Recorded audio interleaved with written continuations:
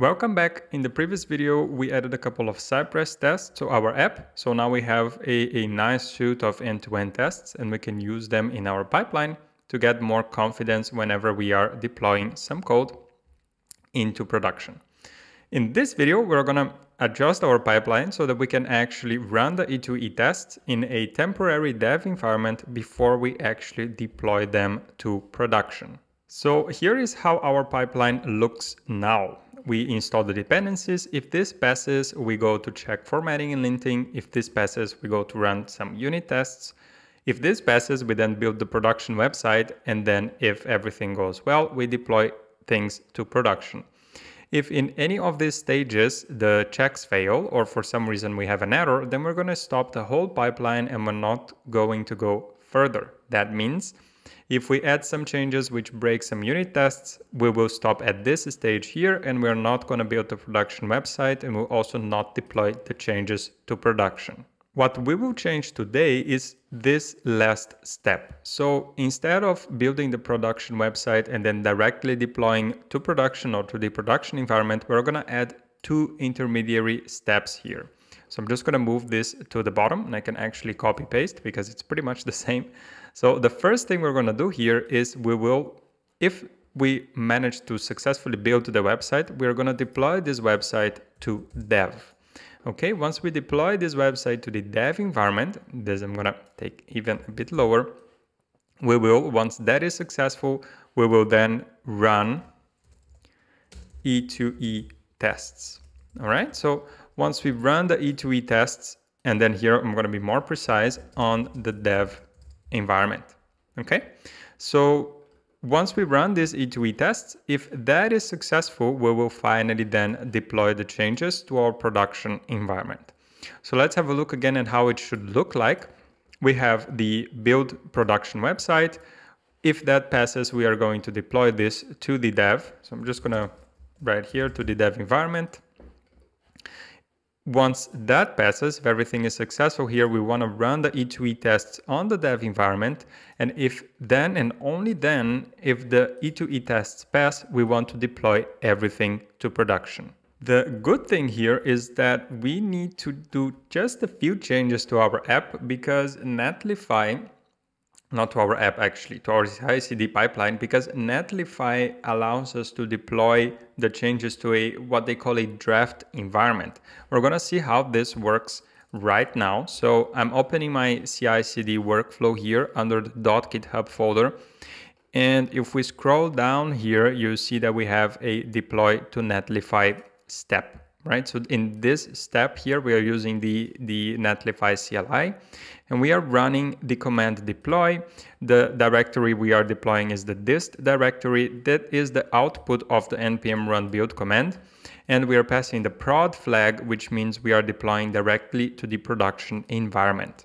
So let's add as comments here the things we would like to do. And the first one is that we would like, so we build the website and then here we deploy um, the website to the dev environment.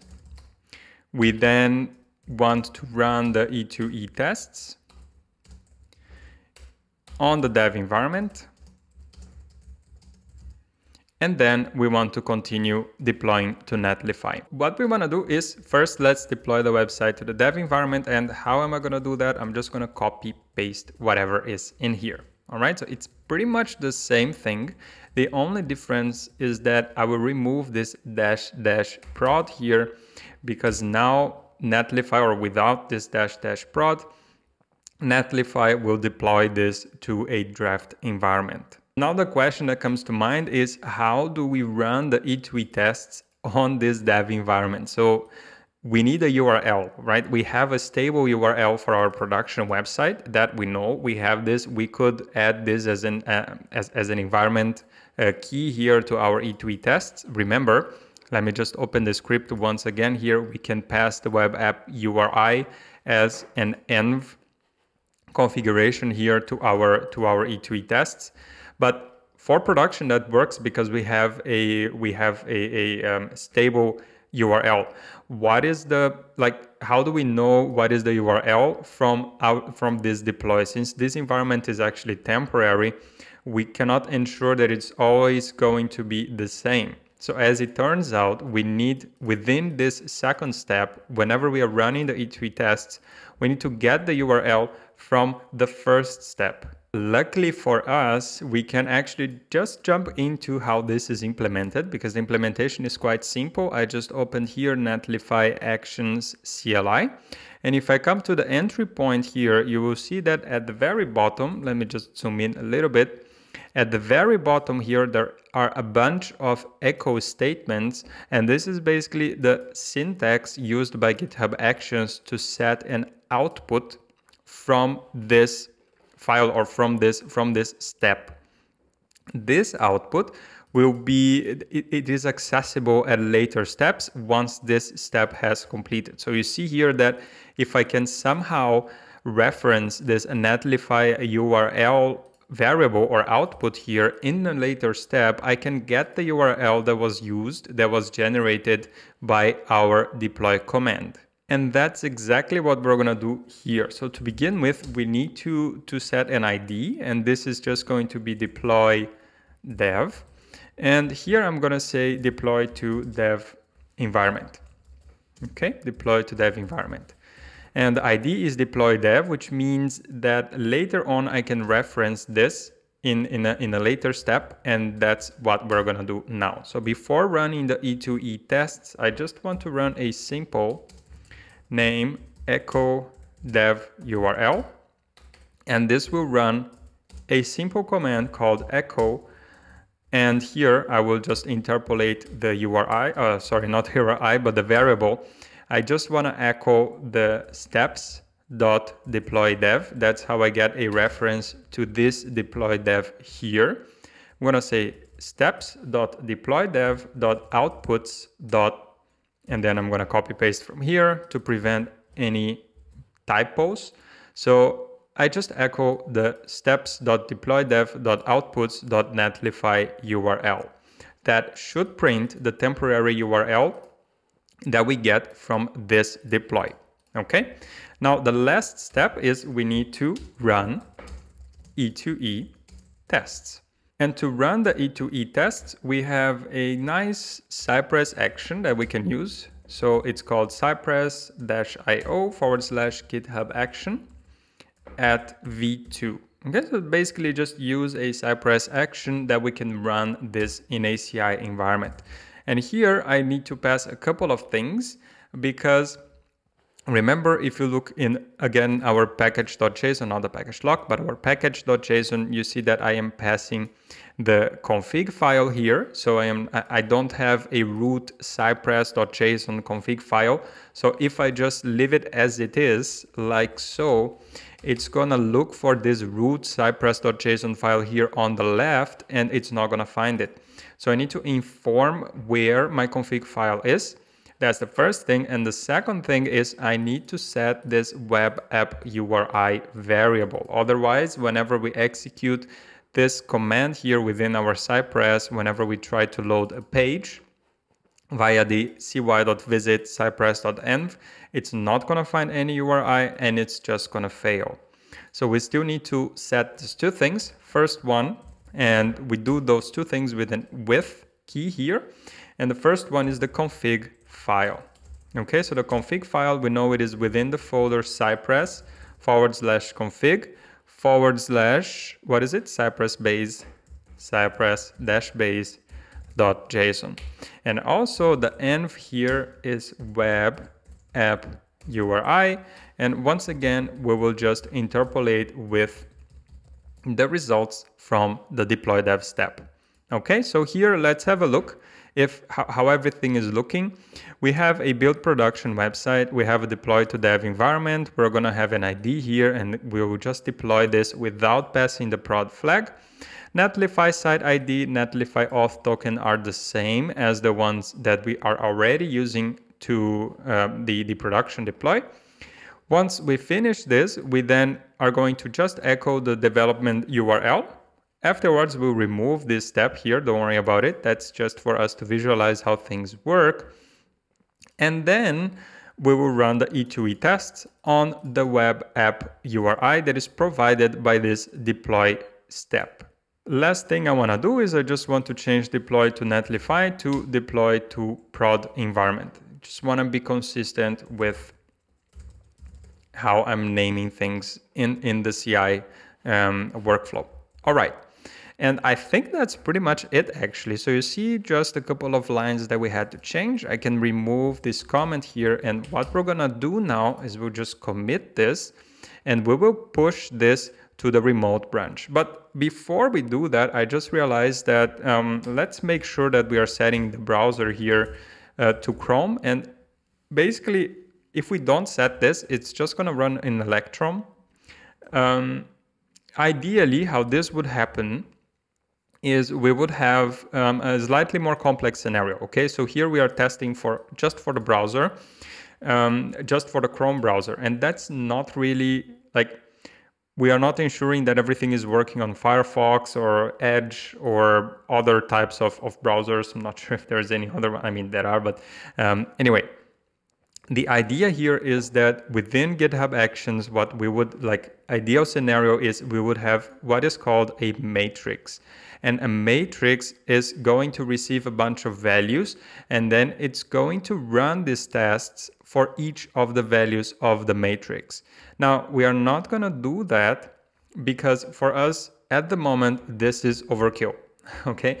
Like maybe at a later stage and plus like if, when you have a matrix you run the same job for the different values you would actually have to kind of for efficiency would split things up here. We would um, split into multiple jobs and then only the e2e job would actually have the matrix so that we we don't duplicate executing steps that are not related to the e2e tests so this this is slightly more complex scenario. The idea here is if I were to um, kind of adjust this this um, um, flow here is that we would have um, oops something like this. So now we are running the E2E test on the dev environment, right? But now, so we would push this a little bit lower. Uh, we would have now three tests running in parallel, something like this, Okay, uh, and then here, so let me just, I'm just gonna remove this for the sake of clarity, and I will just connect everything here, this one, this one, and this one, right? So now what we would have is this would be um, the E2E tests on the dev env and Chrome run E2E tests on the dev end and Firefox, for example, and then run the E2E tests on the dev end and Edge. All right, so now if and only if these three tests pass, so let me just take this slightly up. There you go. Now, if and only if this tests pass, we would actually go and um, deploy this to production. So this is how I, our, our workflow would look like in case we were to use this matrix feature. Actually, any CI CD provider like Jenkins, Circle CI, GitHub, GitLab CI, and so on, um, they have this possibility of, of setting a configuration and then executing executing uh, multiple pipelines or multiple jobs based on this configuration and the values are just varying. Like one one use case when you want to test for multiple versions of node for example to ensure backwards compatibility. Um, so th this is pretty much supported everywhere. Um, for now as i said i think it's overkill and plus as you can see here we run this three times which means we have three times more minutes for the tests um, and yeah, so once again, just a bit too much for the use case. Now, if this was a real production app that we really want to test on different browsers, we would go ahead. By all means, we should do something like this. So it's just interesting that you know about this strategy, but I'm not going to implement it here. All right, with that being said, let's see what are the changes. You see that we just have on the CI CD here. Let's add everything with a dash P just so we can visualize the things we're changing. Nothing fancy, nothing much. And yes, I want to add this. And now I want to commit with a feature that I'm going to say add E2E tests to the pipeline. All right, so that is pretty much everything that we had to do. Let's have a look. I think that there will be no changes on the on the linting or the TypeScript checks because I just changed the CI/CD script. Once that is done, we're gonna push and we'll see if that works. If that doesn't work, we're gonna come back and we will see what we need to adjust. Done, it is committed, so I'm just gonna push to origin and I'm gonna make sure that I set this to um, my origin, so the upstream to my origin branch. And then once I push this, I can come back to GitHub and let's have a look if things started running. All right, they started running. They're gonna take a few minutes. I'm gonna come back once that is completed. Everything is green, everything is working as expected. Let's then have a look just at the output of these new steps that we added here to our pipeline you see that we have a instead of a production or instead of our stable production URL that is just productiveme.netlify.app, we have something that has probably, I would guess that's a commit hash. So this environment here can be accessed. It is still a valid environment, okay? But this is not our production environment. This is actually a temporary dev environment. And again, we are leveraging some of the facilities of Netlify. Uh, if we were to make this using just like raw AWS or any other cloud provider uh, solutions, that would probably be a little bit more complicated, or maybe we just need a little bit more setup on our side. But since Netlify gives us this possibility, we will leverage it. So now you see here that we echo the dev URL. So we're just basically printing on the screen what comes out of this job one or of this step one of the outputs of this step and then we are using this to run our e2e tests you see there's a bunch of of stuff happening here and then we have our output so this is our test and we are running on chrome right so we're running on chrome here that's because we passed the flag and since all the tests passed, we are then deploying to the production environment. And here we have our productive me.netlify.app URL. So you see that this is different than our uh, deployment that happened before. Okay, the URL is different and actually this is the production URL.